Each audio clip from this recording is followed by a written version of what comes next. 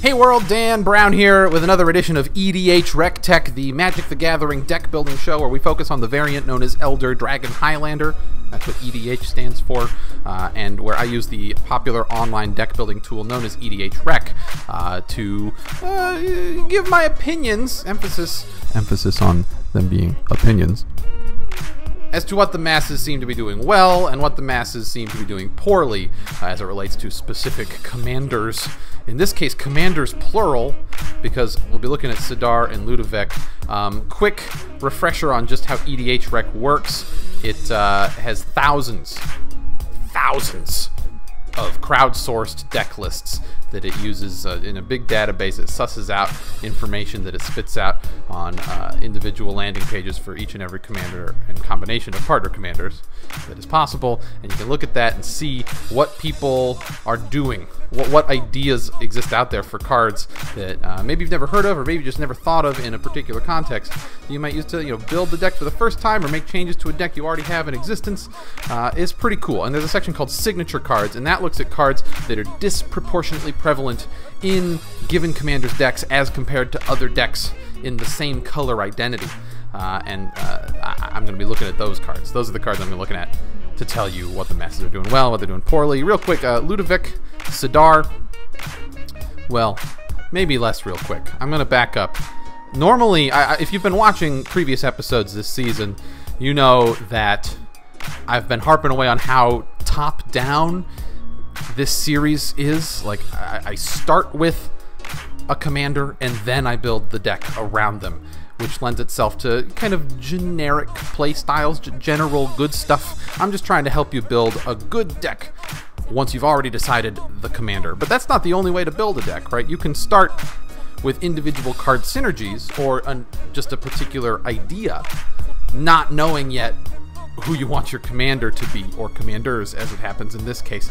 Uh, and so that that's how I got into building this deck. I actually own this deck in paper. Most of the decks in the series uh, only exist uh, for me in Cockatrice and on the internet now. Um, but this deck I did build out in paper because I ran into uh, a situation where I was playing in a brand new LGS. I, moved to Pittsburgh a little over a year ago. It takes some time to get settled in and to uh, be ready to build Magic the Gathering back into your life every once in a while. That's how that's how it went for me anyway. Uh, but so I showed up and I didn't know quite what the uh, power level would be. And um, I think I found a particularly underpowered pod as it happened. Uh, I just showed up pretty early and they were the first ones there. Uh, and so decks that I brought that I thought were pretty casual, like no combos, trying to win with damage, like the sort of decks that you would see in EDH Rec Tech for the most part. Um, were just too too good. We played three games and I won all three of them, and you know I was nice about it. And they, you know, I, I think that yeah, we're we're on good terms. We'll play more games of Magic. They were very. Uh, uh, sportsman-like, but at the same time, I w- I wasn't prepared for the metagame. So I think they were newer players. They probably didn't have big card pools to uh, choose from. They were basically playing cards that I assume they had gotten in drafts over the last few months. Uh, so there was just no real way for them to compete on you know, power level wise with someone who's been playing for years and years and years and has a pretty big collection. Uh, so I went home, and this is like I never want to deliberately build a bad deck. I feel like there is a social con there's a, like there's a social contract, right? Un- unwritten, but that everyone in an EDH pod should be at least trying like trying to win. I, I don't like chaos decks. I don't like like people who put together. Well, I mean the people might be fine, but I don't like the decks that they've put together uh, that are trying to just derail the game entirely. Like that that's not why we all came together to do so. Like we should all be at least ostensibly trying to win. Uh, and, and I, yeah, I don't like going against good deck building principles when I'm building a deck. So how how how on earth do I build a deck? Tapping into my collection uh, and not going against like deeply ingrained principles. You know, run a lot of ramp, run a lot of control, uh, run a lot of card draw, and and try to win but in a way that is fun for everyone. So, so this is the idea I came up with. This is a long way to tell you that I decided I wanted to build a group slug pillow fort deck. That was the first thing I decided. and then I went searching for commanders. Uh, well, I went searching for colors first, I should say. I just went through an advanced search. Um, I think it's like magiccards.info, very good search engine for cards, um, and started accumulating all the uh, pillow fort effects, all the effects that kind of incentivize opponents to attack each other. Um, and from there, I figured out that I wanted to be four color, everything but black. Black does have a few um, cards that might be able to fit into this nicely. But uh, these two commanders lend themselves very well to a group slug strategy as it is. Ludevic incentivizes your opponents to attack each other, and Sidar, if I'm being perfectly honest, he's mostly there for his colors. Um, but enabling your opponent's dorks to get through easily is not irrelevant. Um, we're, we're trying to build up pillow fort effects in this deck, right? Make it very hard for opponents to attack us. Meanwhile, incentivizing lots and lots of attacks so that they have to attack each other. Uh, and, and that's the idea behind the deck. Uh, it does not have very many win conditions. I'm trying to help my opponents kill each other while I sit back safely and watch. And then actually winning the game is maybe a little difficult for this deck, uh, but second place is victory, uh, is the way you kind of have to look at it. Uh, so in four color decks, there aren't very many signature cards to go over. Um, I actually emailed Donald at EDHREC, and I'll get a little more into that email thread a little bit later into the series. Um, but he was saying that, right, because the signature cards come from comparisons to other decks in the same color identity, there just aren't very many four color options for commanders right now. Uh, if anyone from Wizards of the Coast is watching this, maybe consider printing a few more four color uh, commander options. Uh, if for no other reason, then uh, it would help us have more data about the four color decks that already exist by way of comparison. But uh, let, us get into these. Let's get into these. Um, first of all, Edric Spymaster of Trest. Super good card, EDH staple, a very, very strong commander in his own right. Looks a little bit like James Comey. A little bit. And, and you know, the flavor text is not totally uh, out of character for a Comey type character. I digress. Uh, so yeah, I am running this in my Sidar and Ludevic build. Uh, it's just exactly what we want. We want to incentivize our opponents to attack each other and not us. Uh, and Edric does that very well. He also enables us to draw cards. Uh, we, we do have you know, two commanders at least as creatures. Not not running a super heavy number of creatures in my Sidar and Ludevic build, uh, as opposed to most people who are running Sidar and Ludevic, as evidenced by um, the rest of the signature cards here. Grenzo Havoc Raiser, 2 2, so uh, what's that? Sidar would make him unblockable, attacking our opponents, which is very good with his abilities. Um, yeah, if you're running a sort of weenie style deck, that is to say small creatures, um, then Grenzo makes a lot of sense in Sidar and Ludevic. Uh, you want to be careful that you're not uh, putting yourself at risk of being blown out. But Grenzo uh, replaces himself pretty effectively. Uh, yeah, if you have a lot of creatures or a way to make lots of little creatures, like you know a token strategy, yeah, Grenzo makes lots of sense. I am not running him because that's not the sort of deck I'm trying to build. I'm doing more of a pillow fort control thing, but you know, it makes a lot of sense. Uh, okay, let's see if I can pronounce this. Kynaios and Tiro of Meletis. That's my best guess. Uh, very I mean, it's it's well, okay. Let me back up. It's the only non-partner option for this four color combination. And at first, as I was building out this bottom up deck strategy, uh, I thought that they would be my commanders uh, until I found Sidar and Ludevic. So, you know, obviously makes sense. They're in the same colors. You get a lot of value when you're paying four different colors of mana for a four drop creature, right? This is a disproportionately strong effect to have to a creature at four CMC because it's just such a difficult four CMC to hit. Um, I, with that said, I'm not running it this was one of the last cuts I made. Uh, it, it, definitely could go with the strategy that I have chosen to pursue, but at the end of the day, um, I had to pick a few things to cut. And um, like when I run group hug decks, I'm not just hugging opponents with wanton disregard for how exactly that hug is going down. Okay, I, I don't want to feed them so many resources and so much mana, so many cards that the, the game still slips away from me, right? I, because part of that social contract I was talking about earlier, I, I am still trying to win, ostensibly. I don't have very many ways to do it. and when it happens in this deck, it, it, will be like kind of weird and quirky. Uh, but like I am trying to get there, and if I feed my opponents too much extra mana and too many extra cards, then uh, we can start running into situations where we just uh, lose agency in the game. Uh, so uh, I, I, I, had to choose basically. Do I want to feed my opponent's cards or do I want to feed my opponent's mana? Uh, and I think the obvious answer was cards. Uh, they can supply their own mana, and, and that's a way to help them play lots of attackers that can only attack each other uh, without letting them build that board out so fast that we can't build a reliable pillow fort before they start swinging with big, big beaters. Uh, oh, also mad props to Wizards of the Coast for uh, inclusion here, uh, making up for lost time. Really appreciate it. Uh, this is not a uh, it's not a group that I belong to, but just as someone who wants to see you know the Magic playing population of the planet more uh, closely correlate to the population of the planet and their demographics. yeah, it's just important to it's important to send signals to the world that it's not just for white dudes like me uh, straight white dudes like me. Anyway, Mentor of the Meek. Uh, yeah, very good card. Again, if you're doing a weenie sort of strategy, then yeah, this card replaces itself, and that's the most important thing we look for in any card that we're playing. And it replaces itself many times over. This can be a very reliable draw engine in a deck with lots of um, either 2-2 creatures printed as cards or tokens. This would be good in a token strategy. That might be one direction to take a Sidar and Ludevic build. Not the direction I've taken it in because I'm getting weird with it. That's that's all the signature cards we have. Uh, there they are. One more time. We're gonna move on to this deck tech now. EDH Rec Tech Tech Tech. Sidar and Ludevic, or as I'm calling it, Sid and Lude Make It Weird. It's a, it's a good title. It's a group slug pillow fort deck, like I said, and it cares more about playing interesting games than winning, although it is still trying to win. Ostensibly. It, you know, it has ways to win, and it is trying to create a situation in the long run where it eventually gets there.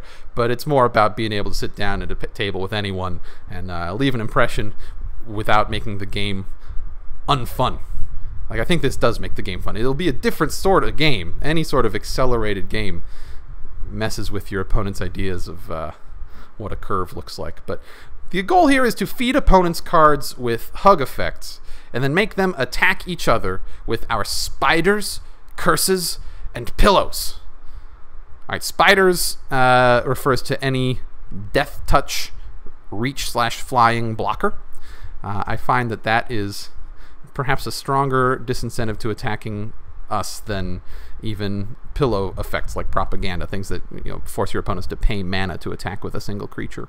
Um, and curses are ways to incentivize them to attack each other. A cursed player uh, has an ability that you know says whenever you are attacked, the person attacking you gets XYZ bonus. Right? There's one for there are a couple in each color, I think. And then insurrection and keening stone are the only win conditions in the deck. Maybe maybe you can count forced fruition among them. But so Insurrection gains control of all creatures, untaps them, and gives them haste. Uh, so if we're feeding our opponents lots of cards, uh, meanwhile they're not able to attack us, they're attacking each other, getting each other's life totals really low, and then we just take all their creatures and do one big swing. That's uh, the one way I have ever won with this deck in paper. It was pretty cool. Uh, Keening Stone uh, is a way to mill your opponent's uh, on a stick. You, I think it's, I think it's like six mana to cast and five mana to activate. Uh, we'll see that in a second. But uh, tap it and target opponent or target player puts cards into their graveyard equal to the number of cards in their graveyard off the top of their library. So uh, very quickly, if they have more cards in their graveyard than their library, it immediately mills them out. Um, and in a deck that has been playing kind of a slow roll, pillow fort, group hug sort of thing, uh, it's not beyond the realm of possibility that the game would go so long that someone would have 50 plus cards in their graveyard. Uh, and forced fruition, whenever your opponent casts a spell, they draw seven cards. They must. So it, it creates a really weird uh, puzzle for your opponents to solve if you're feeding them tons and tons and tons of cards, but they only really get to cast a couple more spells in the whole game before they mill themselves out. Uh, I, I, haven't actually gotten it to go off in paper. I don't think I've ever drawn into it. but could be good, I think. So here are the fundamentals. Ramp, uh, we have 13. That's an average amount. Uh, pretty normal green ramp suite. We're not hugging with our ramp. The uh, original, original first pass at this deck did have kind of a group hug ramp suite instead of a normal one. But like I was saying earlier, you gotta you gotta kind of pick how you're gonna hug if you're still trying to win. Uh, because otherwise the game can get out of control pretty quickly. Um, draw effects, we have 16 of them, an average amount. Uh, that might be slightly above average. I don't really know, but I- am marking it as average here because they're all hug effects, so they're not really gaining us card advantage over our opponents, but they just ensure that we are consistently able to do what we're trying to do, as are our opponents at that point. And it it makes opponents' draw effects less good in a way, uh, because if they're already drawing tons of cards, then any of their like big splashy card draw effects are just like proportionately less good in this particular game. Uh, just something to think about. And control, uh, we have a below average amount of control at, at 12 control effects, and I'm kind of definition, or I'm kind of definitioning stretch. I don't words sometimes mouth out come weird. We're stretching the definition of control. Okay, it's not Cyclonic Rift and Counterspell. All right, it's, it's not Chaos Warp. It's um, well, it's it's ways to make opponents' creatures a little bit brainwashed. I should really make the font smaller on these, huh? Well, too late now. Set up with ramp effects and incentives to attack other players. Start hugging to create a big board, meanwhile casting more pillows, curses, and spiders. And uh, watch your opponents destroy each other while you sit on an insurrection and or keening stone. Hey, hey, I have an idea. How about after I show you this deck, you go buy it? All right, go to flipsidegaming.com and you buy the deck with real money in, and you get a real paper deck, and you use the promo code POGO, that would help support EDH RecTech and other content on Pogobat Gaming, help incentivize me to attack your opponents. I mean, help incentivize me to uh, continue making Pogobat Gaming content. Yeah, they're just a, an LGS up in upstate New York uh, trying to build out their online presence. And uh, hey, I'm trying to build out my Magic the Gathering related online presence too. So makes a ton of sense. Use the promo code POGO uh, and I'll get a cut of whatever you buy from them. Uh, also, Okay, so this deck is a bottom-up deck, but most of the decks in EDH RecTech are going to be top-down design. So I want for my follow-up series to do a few videos where uh, rather than starting with a, a given commander or set of commanders, we start with a cool card synergy that you would like to see my take on a deck for that, that, that has been built around like that synergy, right? So send me an email, danbrownuniverse at gmail.com, with your favorite synergies. synergies you want to see me build decks around. And uh, if it's one of the 12 best, I probably I will, in my opinion. It's all my these are all my opinions. Okay, just opinions. I, I never claim to be the best Magic player of all time. I'm I'm not. That Jon Finkel. That's Jon Finkel, isn't it? That's his name, right? Uh, where were we? Oh, hey, yeah. Let's look at this deck. Okay, let's look at this deck. All right, let's get started with the mana base for Sid and Lude. Command Tower. You know what this card does in four color decks. Very strong. Evolving Wilds. It's a tempo loss, but uh, in four colors again, we are hard pressed for the fixing. Uh, so we're using it, particularly in this deck, uh, because we, uh, I mean, all EDH RecTech decks are uh, on a pseudo budget. This deck is very much on a budget because we're not trying to be even like remotely competitive, really. Like we're trying to win, I guess, but we're more so trying to just uh, make a weird game state. So uh, the the mana base here is super bare bones for four colors. Um, Exotic Orchard, uh, one of the few good lands we run, and then we just run uh, basics, bunch of forests, bunch of islands. Uh, in the middle there, alphabetically, we have Mikokoro, Center of the Sea, plays into the group slug um, game plan, again, we're not trying to ramp our opponents with mana. We're just trying to feed them cards, and uh, this is better than like a Howling Mine because we can control when the group hug happens, namely either during our turn with lots of mana up or uh, preferably the end step of the opponent right before us, right? Uh, then we have mountains, then we have plains, um, a terramorphic expanse, which, you know, functionally the same as evolving wilds, and then a cycle other than the black one, obviously, of the Vivids Vivid Crag, Vivid Creek, Vivid Grove, Vivid Meadow. They enter tapped tempo loss, uh, but they are perfect color fixing at least twice. And usually, you don't need these for longer than that uh, because you'll have found some sort of a ramp effect that fixes your mana anyway. The only downside, obviously, again, entering tapped.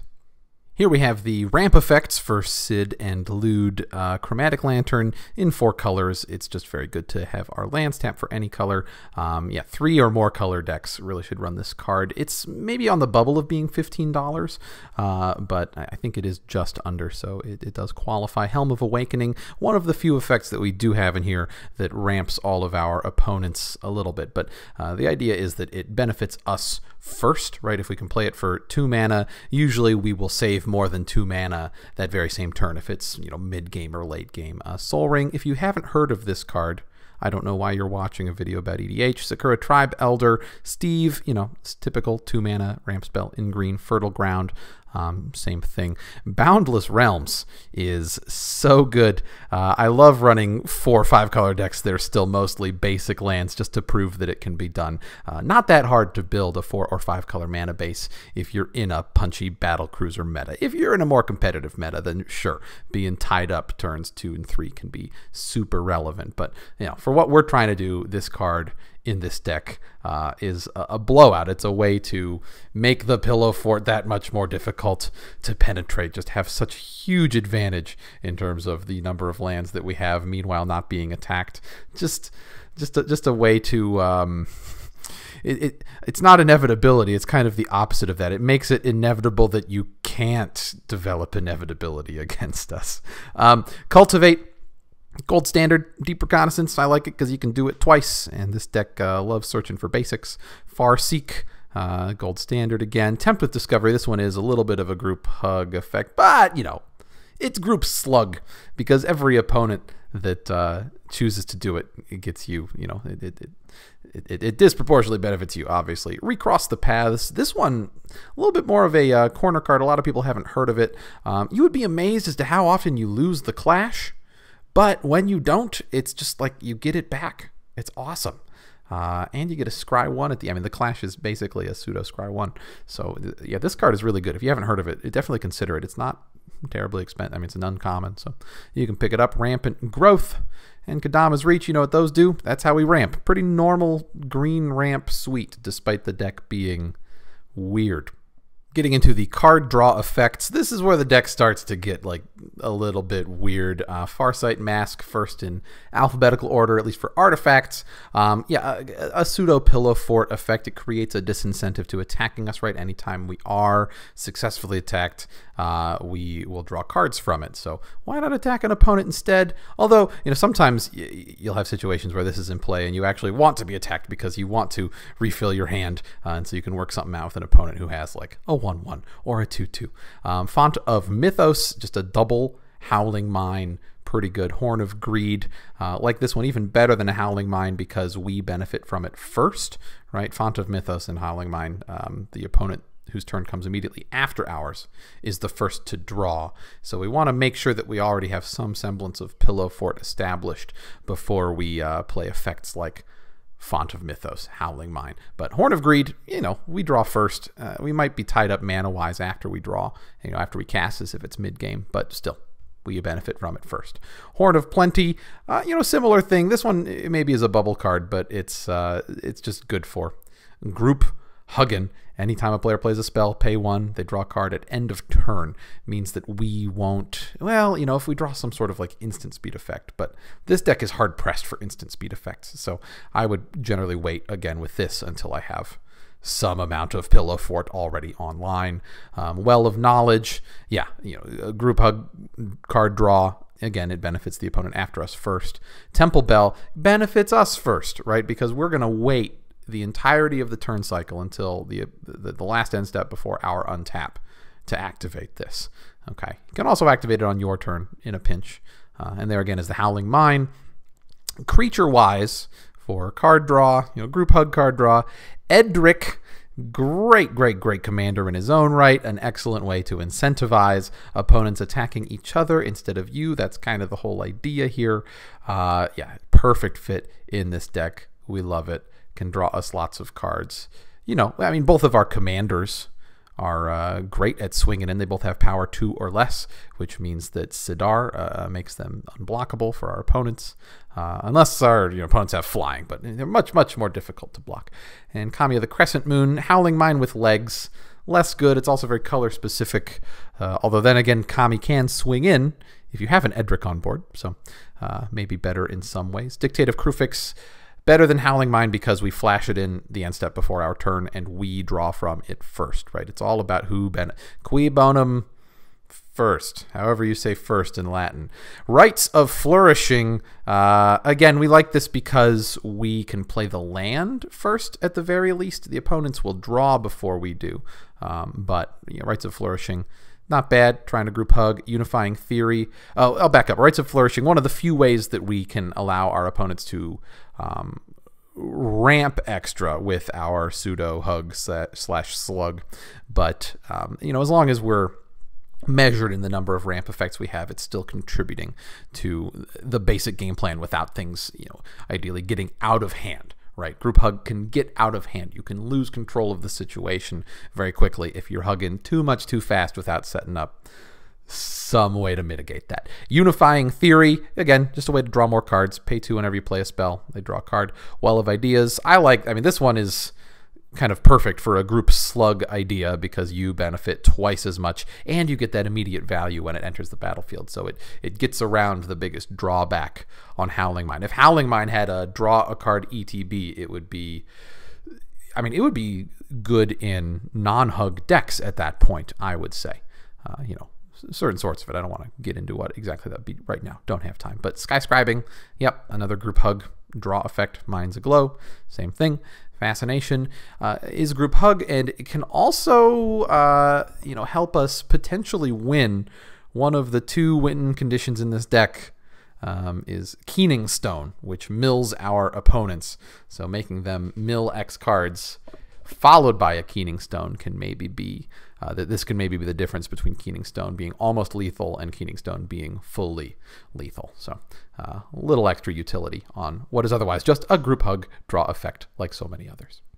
So we're really stretching pretty thin the definition of control here in Sidar and Ludevic, but uh, this is our control in quotes. Uh, sweet. First up is Deadly Recluse one two reach death touch. I mean the whole idea here is that we create a safe space for our, ourselves to just sit back and watch our opponents deal with each other with their punchy battle cruiser decks.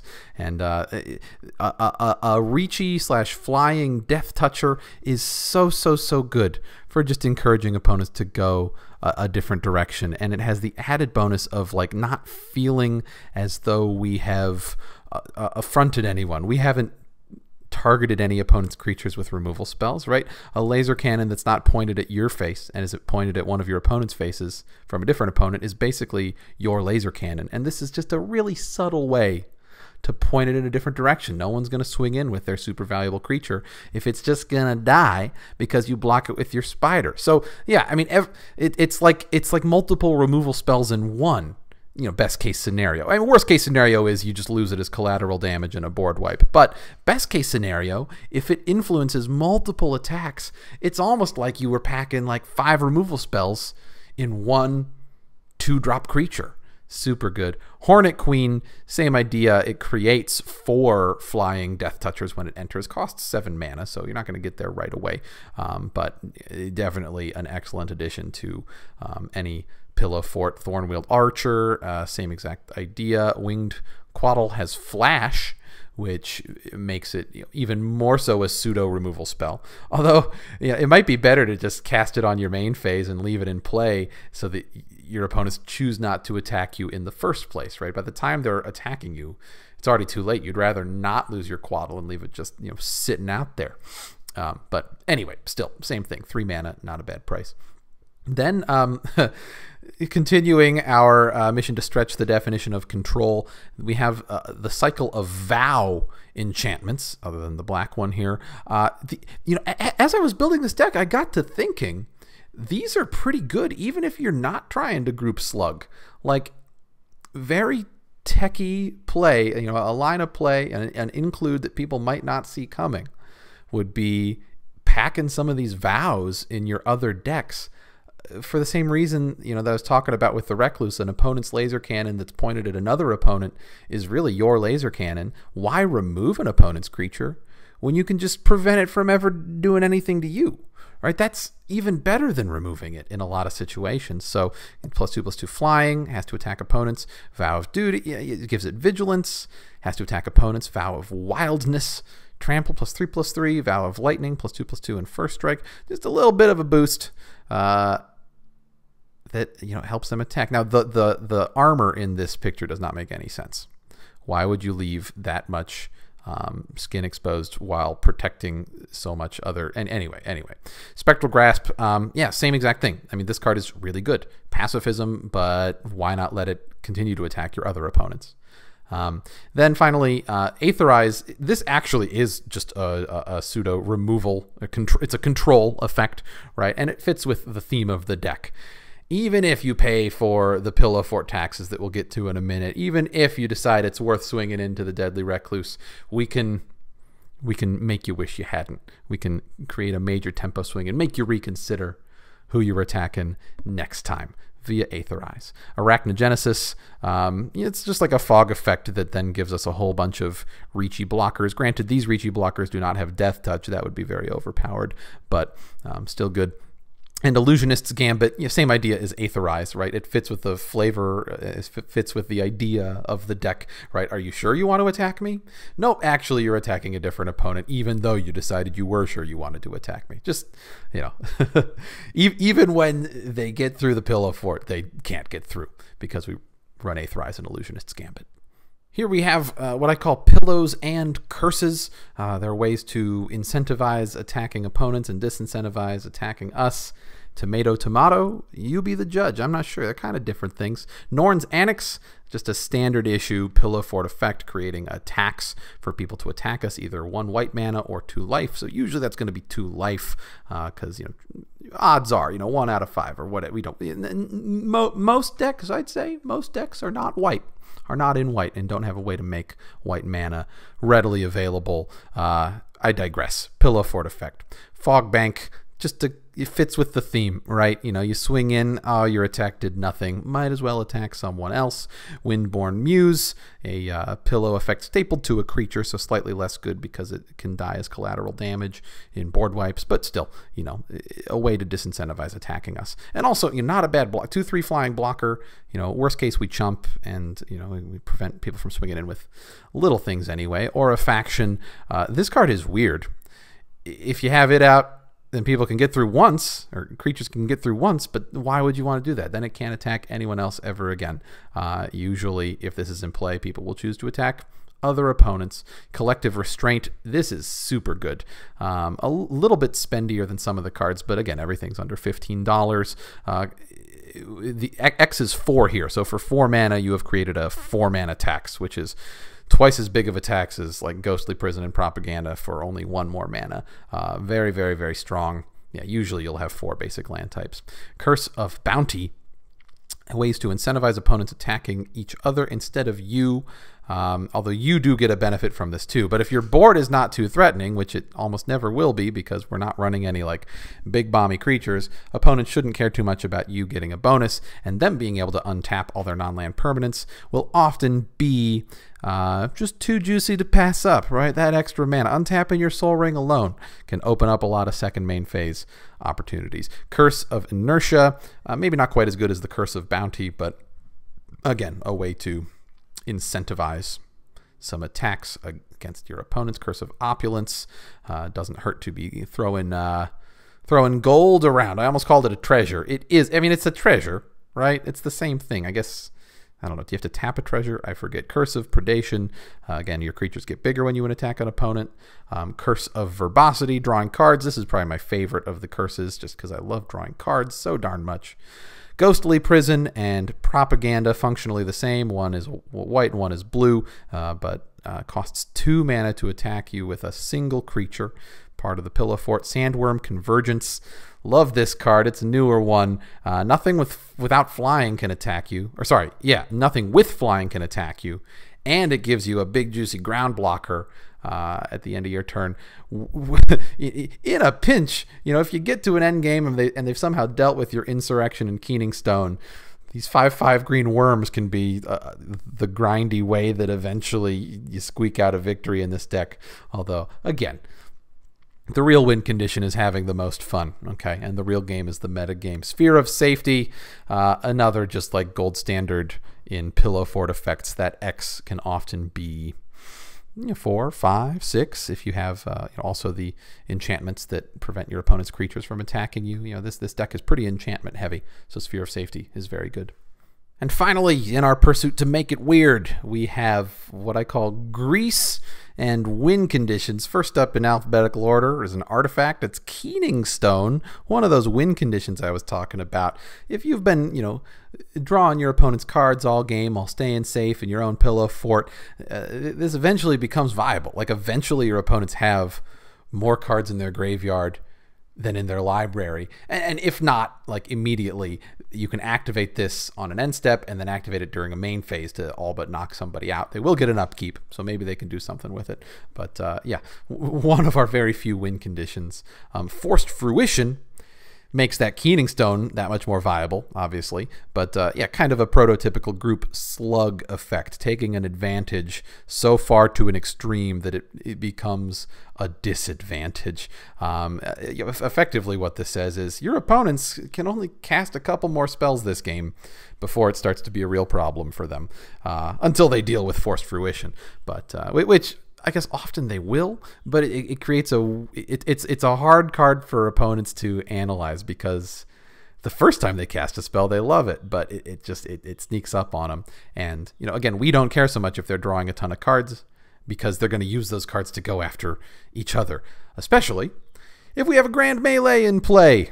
Uh, you know, trying to force our opponents to attack and to block. It, this can really gum up the works. This really throws off how people assess how good creatures are. Like your really uh, great value engine that's a 2-2 isn't very good with a grand melee in play because it has to it has to block, you know, or it has to attack into a, a creature that has to block. Um, mass hysteria, yeah, again, just greasing the gears, giving them all haste. If you got mass hysteria and grand melee, it's really just confusing. Do you want to build a board? Do you want to put a creature out there? I mean, for us, it's a moot point. Like we're just watching our opponents swing at each other because hopefully we have some of those enchantments in play, making it hard to swing at us. Um, Possibility Storm. This is my favorite card uh, it's a pet card, so I do look for excuses to kind of shoehorn it into decks. And my excuse for this deck is, I mean, one, we're trying to make it weird. Definitely makes it weird.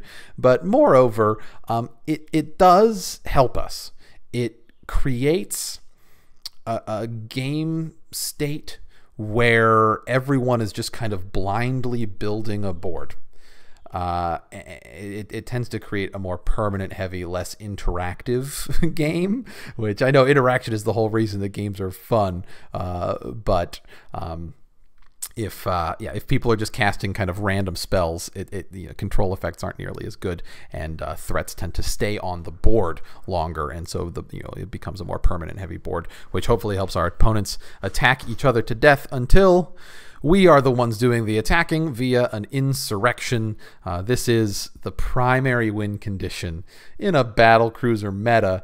Uh, it's a very good one. Uh, maybe less so the closer you get to a control meta or a combo meta. But uh, you know, yeah, th- th- this is the, usually the best way to try to win a game or at least knock out an opponent um, in a game if Sid and Lude makes it weird is the deck you're piloting for some reason. Let's see how Sidar and Ludevic do. Maybe they can win a one on zero game, right? Uh, uh, uh. All right, let's see how Sidar and Ludevic do. Maybe they can win a, a one on zero game here. We'll draw our opening hand, which is weird. That is five lands, no ramp effects.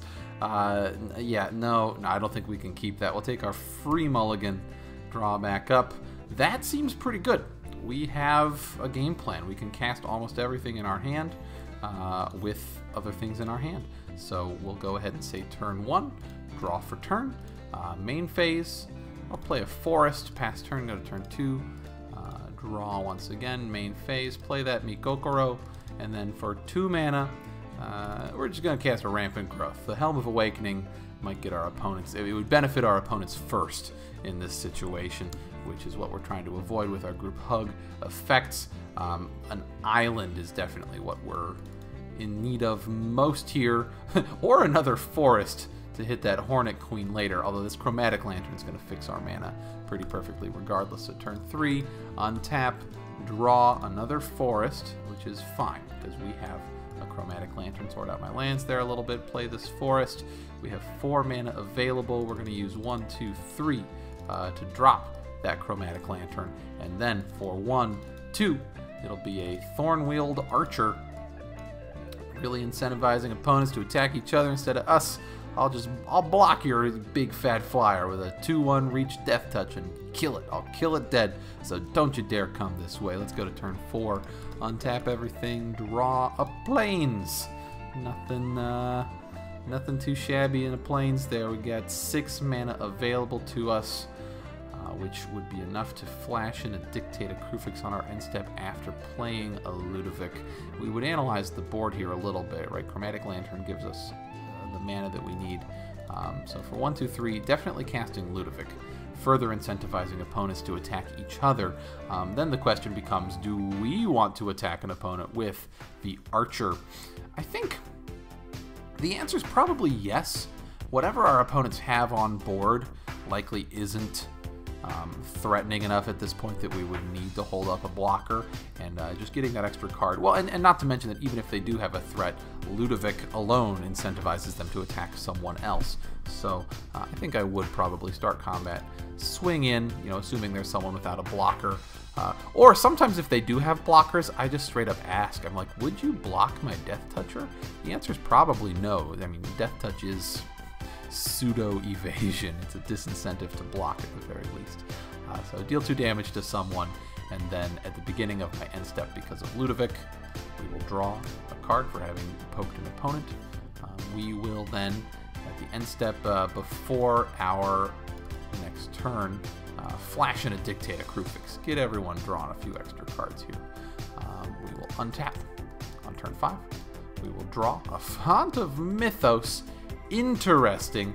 Uh, I, I, guess probably next turn we'll want to cast the Font of Mythos.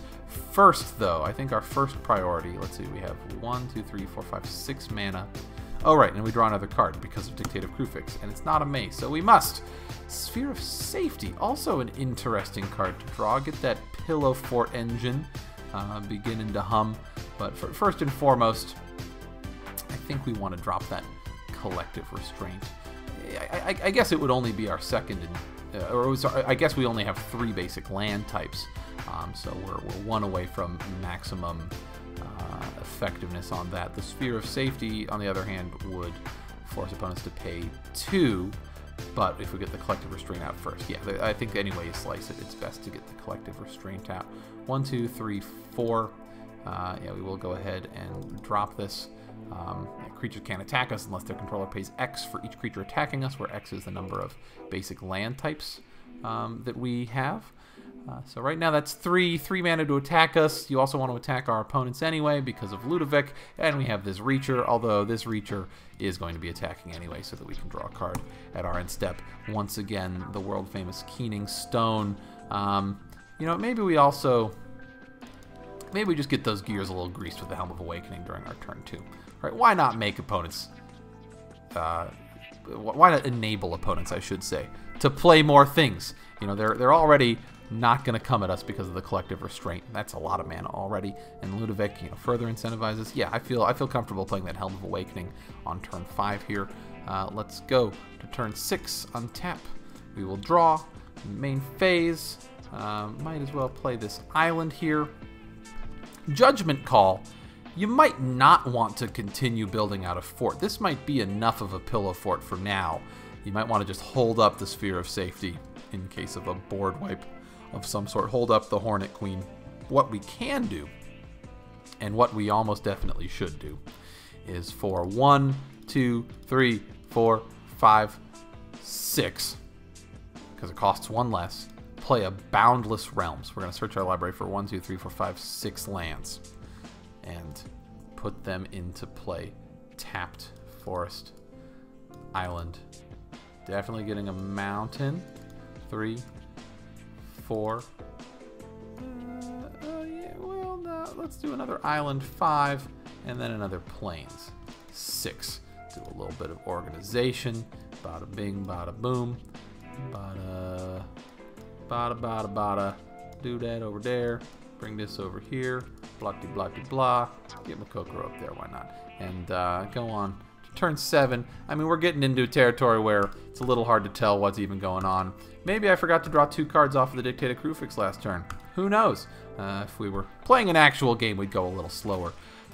I, I don't hate the play Sphere of Safety into Possibility Storm here. That seems cool. Maybe get the Hornet Queen out of the way first because it costs 7 mana. Uh, but all, all, sorts of ways that we could take it from here. Let our opponents attack each other, draw everyone more cards, grease the gears to help opponents attack each other even more. Uh, Possibility Storm creates a very you know permanent, heavy, board heavy game state. Uh, yes, like this position. Keening Stone is in hand, so you know if we drop the Font of Mythos on top of a Dictate of Kruphix and let the game kind of grind out for a while, then it becomes a viable win condition. And not to mention that we have the mana to drop it, tap it, activate, and then tap it, activate it again on our very next turn if we save it for an end step. Uh, yes, yes, yes, yes. This is what we like to do. It's darn Ludevic. Also, guess I left my Boundless Realms just sitting on the stack. That's fine. Um, hug your mothers. Give them a big old hug for me. And uh, good luck. Have fun. This has been EDHREC Tech. Be sure to like, comment, and subscribe. Subscribe so that you know when future content comes out every week. I'll see you same time, same place next week right here on Pogobat Gaming. Like I said, good luck, have fun. Remember, the real game is the meta game and your place in you know, the social situation there. And the real win condition is having the most fun. So make sure you're enabling all of your opponents to have fun too. Make sure everyone's having fun. Just be a good, be a decent person. Like competitive decks can be very fun. I'm not saying don't play competitive. I'm just saying be kind. Be kind to each other. I've been Dan Brown, and I will still be Dan Brown next week. Okay. All right. That's the end.